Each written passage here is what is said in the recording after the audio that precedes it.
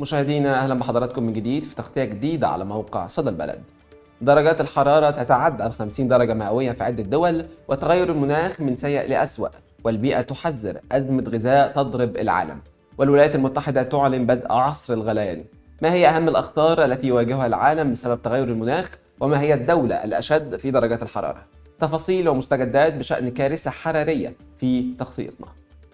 بيعاني العالم من تغيرات مناخية بينتج عنها العديد من التغيرات ليس فقط على المستوى الطقس بل امتدت أيضا للغذاء بسبب تأثير ارتفاع درجات الحرارة على الزراعة. واجتاحت الأحداث المناخية القاسية من الحرائق والفيضانات والعواصف وموجات الحر البحرية في جميع أنحاء العالم وأثر ذلك على الملايين. وأدت التغيرات المناخية إلى تلوث الهواء وارتفاع درجات الحرارة وأدى ذلك لحدوث حرائق غابات وأعاصير وموجات جفاف غير مسبوقة. أثر ذلك أيضا على الأنظمة الزراعية وكانت المفاجأة هو أن حذرت البيئة من أزمة غذاء تضرب العالم. وأن عام 2023 هو أكبر تهديد بيواجه البشرية بسبب ارتفاع درجات الحرارة لمستويات غير مسبوقة. وكان الأكثر مفاجأة هذا العام هو إعلان الأمم المتحدة بدء عصر الغليان كما جاءت العراق في مقدمة الدول الأكثر عرضة لهذه التأثيرات بسبب وصول المياه إلى أدنى مستوى مسجل.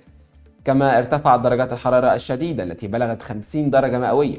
وأكد فولكر تروك مفوض الأمم المتحدة والذي زار العراق لمدة أربع أيام أن درجات الحرارة القياسية التي شهدها العراق تدل على أن حقبة الغليان العالمي قد بدأت بالفعل خاصة في مدينة البصرة العراقية المعروفة بإنتاج النفط بجنوب العراق. حيث شعر بالحرارة الحارقة واستنشق هواء ملوث نتيجة مشاعل الغاز المنتشرة. اتضح له أن عصر الغليان العالمي الذي قد حذرت منه الأمم المتحدة سابقا قد بدأ في العراق. بتعتبر دولة العراق هي أكثر الدول عرضة للتغيرات المناخية في العالم حيث أدى انخفاض مستوى الأمطار وسوء أيضا إدارة الموارد المائية للبلاد إلى جفاف مستمر منذ عدة سنوات. لكن وزارة الموارد المائية قد أكدت أن مستويات المياه بالبلاد خلال العام الجاري وصلت إلى أدنى مستوياتها المسجلة. وسابقا كان الأمين العام للأمم المتحدة أنطونيو قد حذر من بدء عصر الغليان في العالم. وانتهاء عصر الاحتباس الحراري وبدء عصر الغليان العالمي. كما دعا كل الدول لاتخاذ إجراءات احترازية فورية وجزئية بعدما أكد علماء المناخ أن يوليو الماضي سجل أكثر الشهور سخونة في التاريخ منذ آلاف السنين. شهدت أيضا عدة دول من ارتفاع كبير في درجات الحرارة تجاوزت ال 50 درجة مئوية في بعض الدول العربية وكانت أكثر الدول تأثر هما الجزائر وتونس وغزة.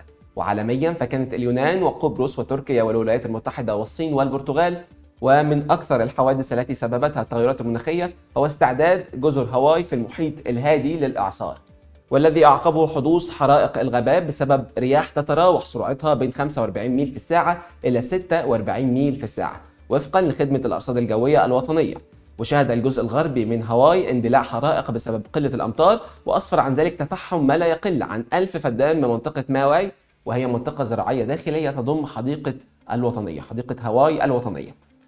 أسفرت أيضا الحرائق عن مقتل 53 شخص على الأقل وتفحم أجزاء من الجزيرة. وتم تدمير مدينة لهينا التاريخية وهي مقصد سياحي شهير. كما وصل متوسط درجات الحرارة إلى 20 96 من 100 درجة وهو رقم أعلى بكثير من متوسط الحرارة في هذا الوقت من العام. المحيطات هي أيضا من أهم ما يوجد في المنظومة البيئية حيث تنتظم أو تنظم المناخ وتمتص الحرارة وتنتج نصف كمية الأكسجين الموجودة تماما على كوكب الأرض. ومع تغير المناخ تكون المياه أكثر دفئا أو أقل قدرة على امتصاص ثاني أكسيد الكربون ويعني ذلك بقاء المزيد من غازات الاحتباس الحراري في الغلاف الجوي.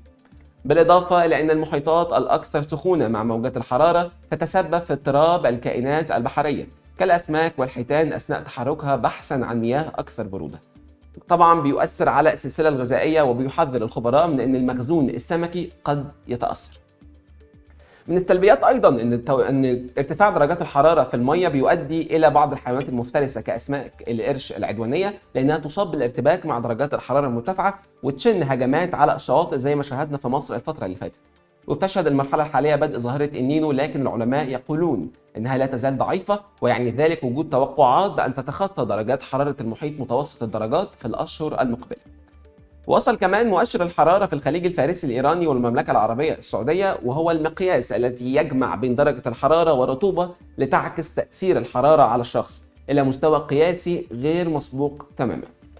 وفي البيئات الحارة بيساعد العرق المتبخر على تبريد جسمك ولكن إذا كان الجو رطبا جدا ولا يمكن أن يتبخر عرقك فأنت في خطر كبير للإصابة بمضاعفات بمضاعفات صحية بما في ذلك الإرهاق الحراري أو حتى ضربة الشمس ابتكرت بعض المدن بعض الحلول للتغلب على شدة الحرارة ومنها طلاء الأسقف بالألوان البيضاء لصرف الحرارة أو زيادة حتى عدد ملاجئ الحرارة للناس إن هي تتحمى من أشعة الشمس.